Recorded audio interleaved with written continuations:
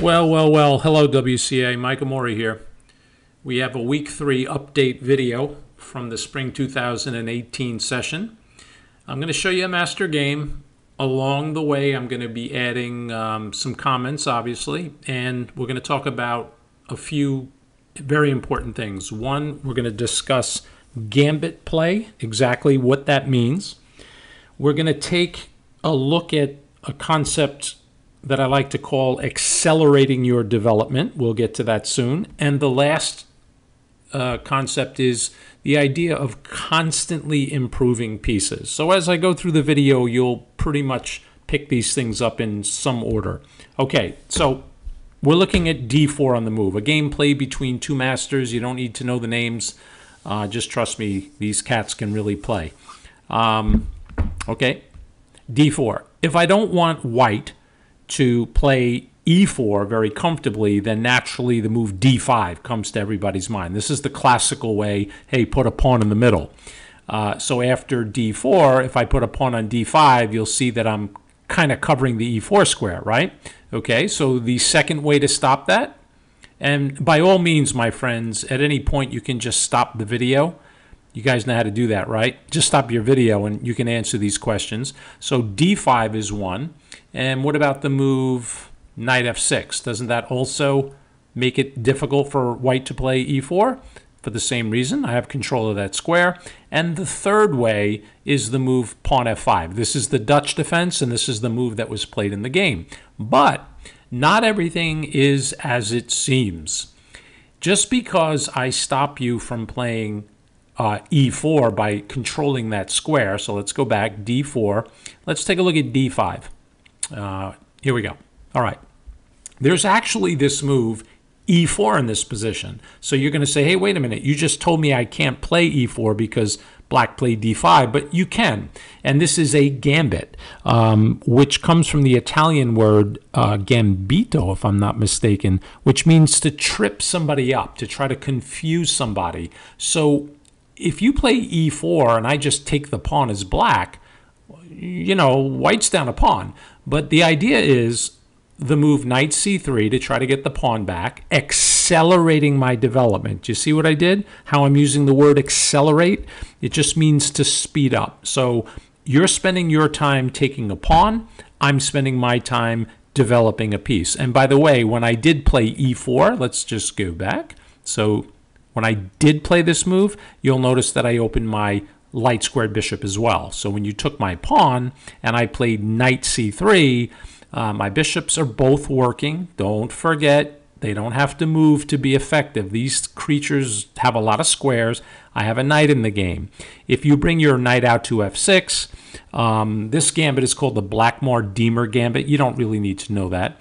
And here is a concept where white says, I'm going to let you keep your pawn forever. And try to remember this cool little concept. It's the move pawn f3.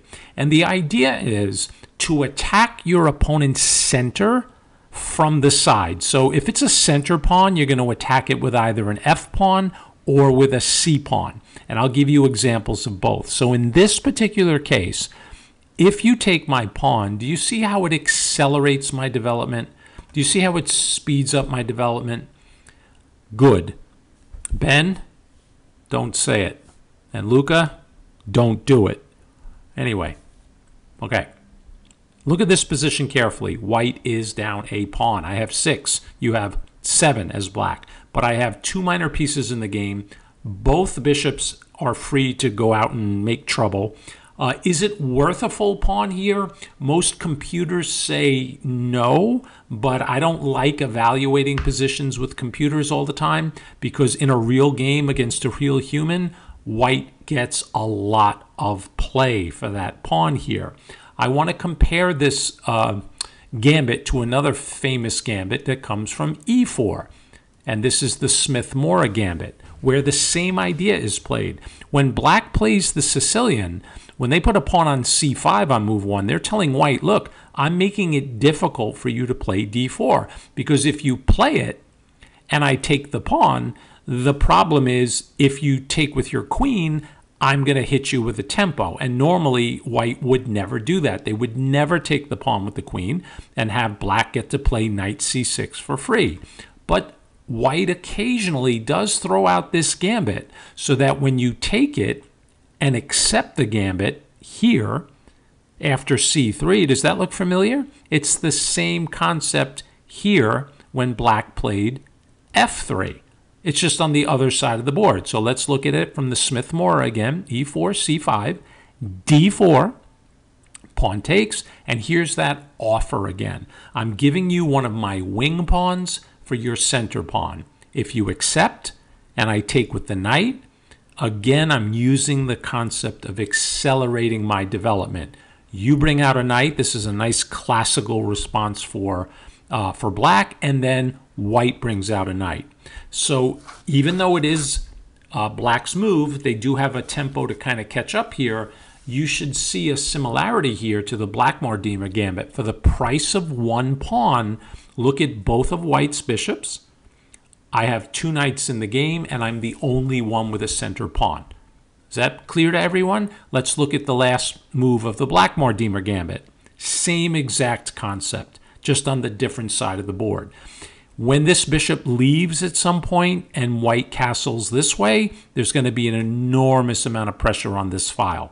If you look at the end of the um, Smith-Morra gambit, the files are different, but white is almost always going to get a rook to c1 and get a lot of pressure on that line. And after they castle, the other rook may come to d1, and you'll see a lot of pressure on these lines. Okay, let's look at today's game.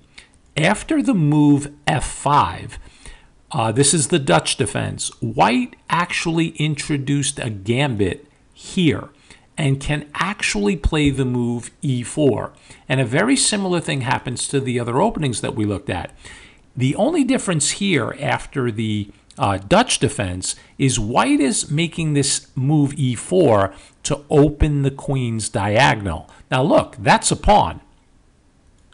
Black took it. It's like, okay, I'll take it. And what uh, white does first is they play this move knight to c3.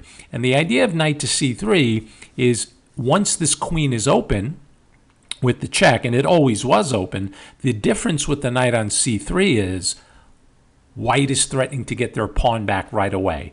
And what they're telling black is, hey, look, if you give me that pawn, uh, and I get it back, then you have to tell me why you weakened all these squares on this side of the board because you don't have a center left. And it gives black an opportunity to go wrong. And in the game we're going to look at, black made kind of the second best move in this position. They just protected the pawn uh, with their center pawn. But it's kind of not best. Pause your video and see why pawn to d5 might not be so good. Okay. What did you get here? Well, after queen h5 check, you'll see that that's a kind of nasty double attack. You're not only hitting the king, uh, but you're hitting black's d pawn as well. And this is a problem.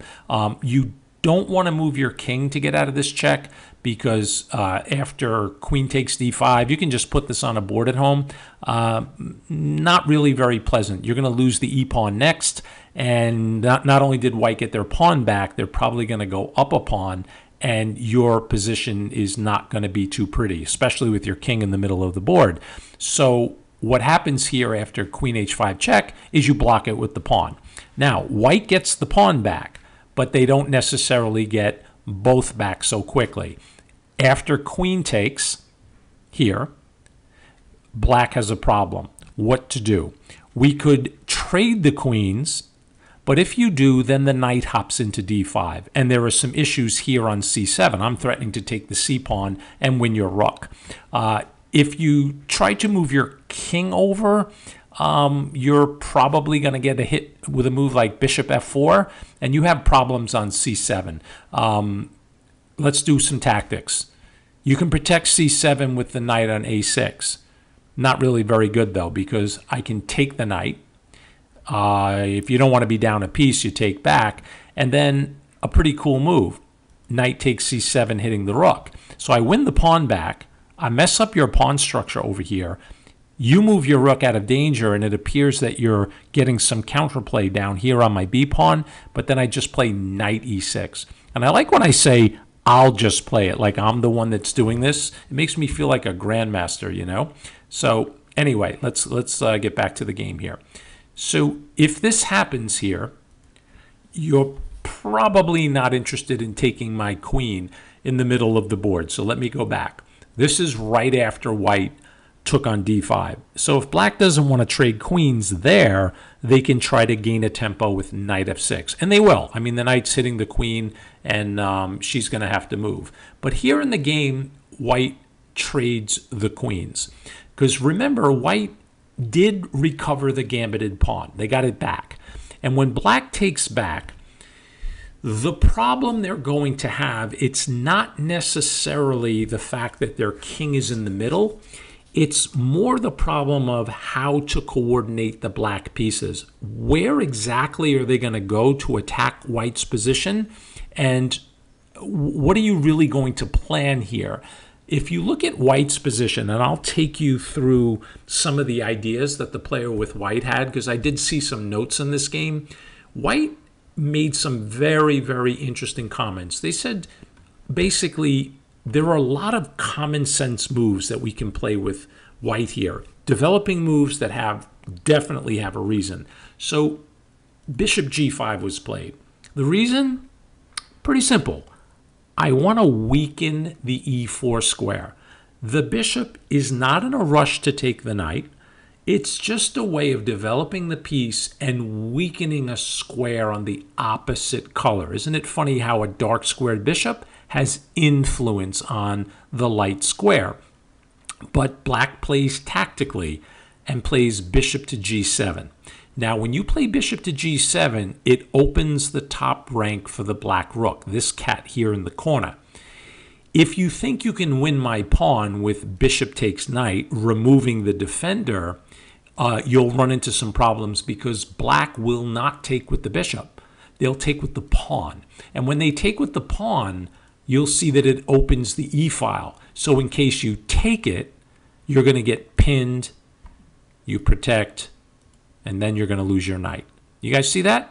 So it's a pretty pretty nice way to protect the pawn. So let's go back to bishop to g5 you might say to me, well, then, if, if you're not going to take the knight and win the pawn, why did you put the bishop there in the first place? Well, it's deeper than that. It's only to weaken the center square, develop the bishop, and what can black, uh, I'm sorry, what can white do on their next move? Based on bishop g5, they can castle long. The moves are just beautifully connected. Nothing fancy, but still very effective black to play. They develop their light square bishop. They protect the pawn in the middle. So black's already admitting that they're probably going to be a little bit defensive here because they're worse, but they're not losing, but they're worse. White develops a minor piece, bishop to c4. I mean, just look at all of these beautiful light squares. Why not put your bishop on c4? Very logical move. Uh, whether there was better or not in the position, um, we can't criticize or analyze every possible move. But according to the notes in the game, White's saying, look, I'm just going to put my pieces on good squares. Black is pretty much saying the same. They play knight to c6, and then an idea that we learned earlier gets put into play. White wants to develop the last minor piece. How? Well, white uses the trick that we learned earlier and tries to speed up. Oops, sorry, went too fast. Tries, I really wanted to speed up. They want to accelerate their development. Remember the trick? Pawn f3. There it is. Pawn f3. Let me take you back to, let's say, the Blackmar-Diemer gambit, which is here on e4. You took it. Knight to c3, knight f6, and pawn f3. There's that same idea, the same trick. If you take it, I take back developing the knight, accelerating my development. Okay, let's take you back to the real game. If I can find it. Here we go. White to play. You see the concept? Now, does that mean you should always play f3 if there's a pawn on e4? Absolutely not. You'll get crushed in a lot of games and you'll yell at me, hey, Mike, you told me to play f3. I told you nothing. So here, pawn f3 is actually a very good move. Um, it's kind of hard not to take on f3 because if the pawn takes in the middle, um, hitting the bishop, this game's going to open up so quickly um, in either case, this is really, really a good move. I, I, don't know that you want white taking on this square. Um, so black took. Clearly, we take back with the knight, just accelerating the development. Remember, the material is equal. And black fights back. And they hit you with pawn h6. And if you're going to trade a bishop for a knight in an open position, um, you have to make sure that you can really justify it or explain to yourself why you're doing it. White took giving up the bishop pair. Black takes with the bishop to keep the pressure on the middle and keep the bishop active. But the reason they do it is because of the move rook h to e1, which is really another concept. It's called bringing in the last piece. When you play rook h to e1, now you have complete control of the center and you're giving black a problem. Do they have two bishops in an open position? They do. However, the issue is what do you do with the rooks? And now I'd take a moment if I were you, pause the video, and just compare the pieces for each team. Okay, hopefully you did that and you'll see that whites rooks especially are so much more effective than blacks and that's only because of the bad placement of the king up here on on uh, d8 so black makes the best of it. They put their rook on an open file. And remember that is an open file. Even though there are three minor pieces on it that does not define the file being open or closed. It is only defined by pawns. So the f file is the only open file. There are a couple of half open files. This is half open for white. This is half open for black. Just think about it if you were a rook. It would be better for white. And if this king were a black rook, like if I could slide this guy here, clearly the black rook can use that half open file.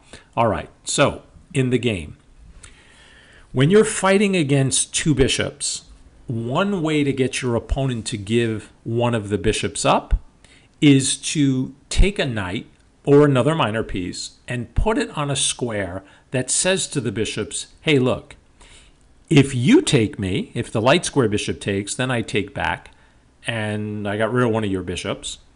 If you don't, like if you move your bishop away, then I can take the dark squared bishop. You guys see that? But the reason this knight is here, it's not just to give the bishops that headache the knight has a penetration square on black side of the board. Do you see it? Yeah, it's the c5 square. So if you, you know, let's say you desperately wanted to keep your dark square bishop and you played bishop to g7, then you're going to get hit with knight to c5. And knight to c5 is a, a move that you can see that, that that knight is hitting two squares, e6 and b7. The problem is in the game after knight e4, black realized that knight c5 was a big deal and they played pawn to b6. It's, it's really the only way to stop knight to c5. But the problem with that move is, if, if I put on some other highlights, you see all the light squares that are kind of opened up? It kind of it should look like an X to you. And that's because, let me turn these highlights on, when all pawns in one zone are on the same color, it creates like a T effect, the letter T. You see, if you look at all the dark squares that I highlighted, you can kind of imagine it, uh, imagine it being a T. And then if I highlight the open squares, you should see the letter X. You got that? This is the same idea if this bishop were here. This is a fianchettoed bishop, correct? Yep, fianchettoed bishop. Problem, problem, where is this bishop? It's over here. And when that happens, if you can get your opponent to weaken this many squares on one side of the board, and the piece that can defend those squares is on the other side, you've created a legitimate weakness. You guys, I hope that makes sense. So from this position, as soon as this knight hops in, the knight is telling black, hey, look, I may take one of your bishops off the board or I may penetrate into your position. Choose. What do you want to do? So black decided to weaken uh, those light squares, and white immediately jumps on them, pinning the knight. Forcing the bishop back. You don't want to put your king on d7 in this position. And now, how to improve your position. Put your pieces on good squares. If you don't see something concrete, you know, at the WCA, we never make a trade unless the trade helps our position. If you think taking this knight and putting this bishop on this long diagonal helps you, then do it. White simply put the rook on an open file. Could you take the dark square bishop? You could at some point, but this is a strong knight here. And go a little bit deeper. How does black get rid of this knight? Not so easy to do. The bishop's not here on f5 anymore. So white will make a trade with this knight at their convenience. But in the meanwhile, in his mind, he said, you know what? I'm going to put my rook on f1 and just start to fight for the only open file. King e8. This is a master move, opening up the square d8, possibly for this rook to break the pin, and then protecting a piece that is loose. Let's go back. Who's protecting the rook on f8? Nobody. What is the rook in the corner doing? Nothing. Is the rook pinned? So what is black trying to do? Protect a loose piece, open a square possibly for the rook to break this pin, and now, and only now after that king committed himself, did white take.